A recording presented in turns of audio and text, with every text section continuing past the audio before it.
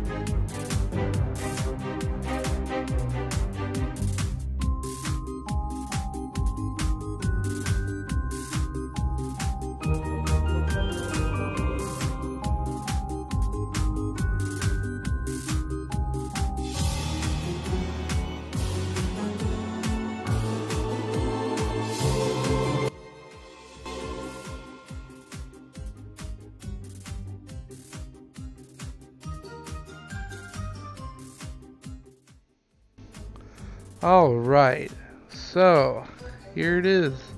Little witch's cottage. Got a little, uh, made little signs says keep out. Tree, cemetery, yeah! Let's make this thing full size. Alright, so where's the ground? Right about there. Ah, so now this is full size. Check it out. Yes. A witch's cottage. Let's go inside. About. Eh, come here. Ah, we'll, we'll uh. So this is the inside. We'll get right in the center so we can walk around a little bit. Uh, and that's the ground. Okay. So this is the little witch's cottage. I put some candles up over there, a pumpkin, a couple of little, uh, you know, doodads over there, a skull. Well, it's kind of a skull. It's okay. Um, a uh, book. Well, you know, a spell book. Of course, every witch's cottage has to have a witch's cauldron. A spoon to stir it. Fire in there. Hello, fire. And then, of course, a broom. um, it's okay. It's not too bad. Uh, for my first full painting, I think uh, I think I did pretty good. Yes, this is my first full painting. If you did not know that, let me uh, zoom back out. But yeah, my little cottage, my little witch's cottage. I hope y'all like this. I'm gonna leave a link down in the description where you can actually go download this and check it out yourself. So let's go ahead and go to the outro. Alright, you ghoulish gamers, I hope you like this spectacular Halloween special and uh, the painting I did there in Tilt Brush. If you haven't already, go ahead and hit the subscribe button, hit the like button. If you'd like to, go ahead and check out my Discord, my Facebook, and my Twitter. And to all of you out there, happy Halloween, and we'll see you in the next video.